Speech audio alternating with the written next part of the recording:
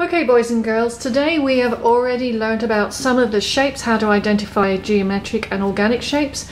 Today we are going to go to Africa with our imaginations and we're actually going to draw a underwater hippo. So you're going to have your paper portrait and we're going to use oil pastels first and the very first thing that we're going to do is draw a waterline. So taking um, a coloured pastel, two thirds of the way up on your paper draw a waterline. It can be straight or it can be wavy just like this one here. Now I will give you a guided script and a handout with an example on it, but this is going to help you. We can do this step by step together or we can um, follow the guide and do it by ourselves. Either way, we will have a beautiful artwork at the very end. First thing that we're going to do below the waterline is actually we're going to draw sort of like a rounded oblong rectangular shape. And we're just going to do it about this size, okay? And this is actually the start of the hippo's nose. Alright, I'm just going to do a nice bold line. Remember that what we're going to do is we're going to draw with the oil pastels, do some colouring in with the oil pastels, and then we're going to do a watercolour wash over it. Now we've got our nose in place. Next thing, we're going to go below and we're going to draw a bit of a pancake shape.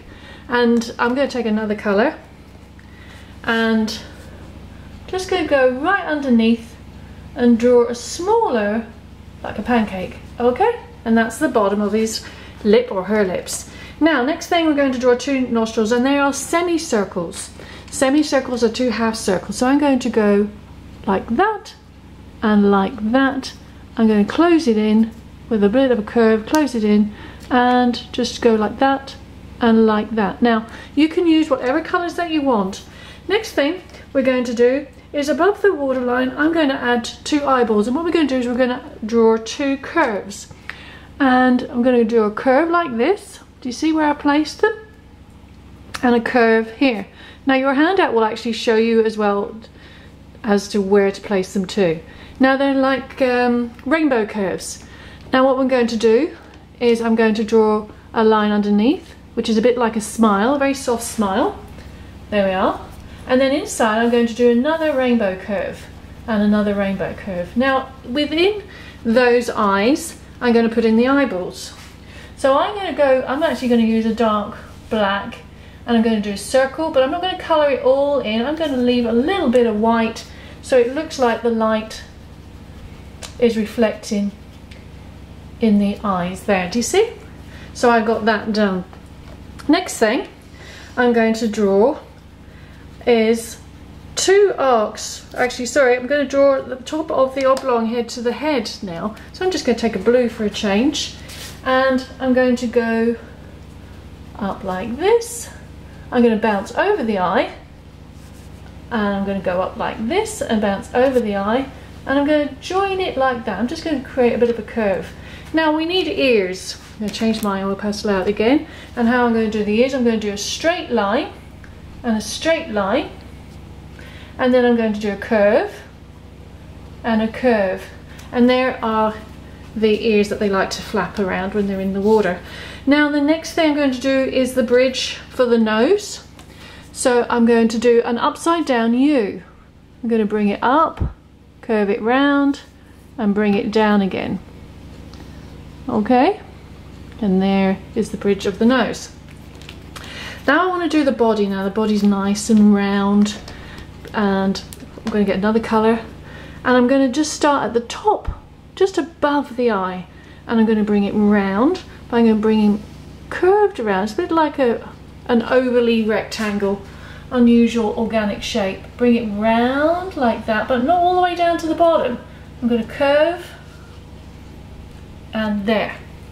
Next thing I'm going to draw two either curved, not curved, but slanted lines or two vertical lines. I prefer to have mine slanted like that. I'm going to do a bit of a smile, bit of a smile, and then I'm going to add some toenails. One, two, three, one, two, three. But I also want to add a pair of legs at the back as well. I'm going to go a slightly darker colour. And I'm going to bring a line here and there. See, I haven't brought it all the way down to the bottom. I've brought it to the side here and it's slightly shorter than the front leg. Okay, so now we're showing that the hippo has a pair of legs at the front and a pair of legs at the back. Now what we're going to do is start applying colour. So I want to show you two different ones that are finished with just the colouring, okay? So that's your drawing, that's your line drawing. This one, if I show you here, all coloured in. Now with this one, I kept changing the colours because I was trying to be more traditional with the hippo colour. But when I got to the body that was underneath, I put my chalk or my oil pastel to the side and I rubbed it so I got more of a grainy texture because I really want the watercolour wash to catch it. The other one is where we actually did a, a grainy rub all around and also drew in details on the base with rocks and the ground and drew in some fish. Now you can draw in fish and you can also go to the collage box and create your own collage fish as well. Okay, so if you want to do both, that's your option. And then what we're going to do is our wash now. But we haven't finished yet because we're going to do what's called collaging. So very quickly, I'm going to just do a quick wash so you can see. This is called resist.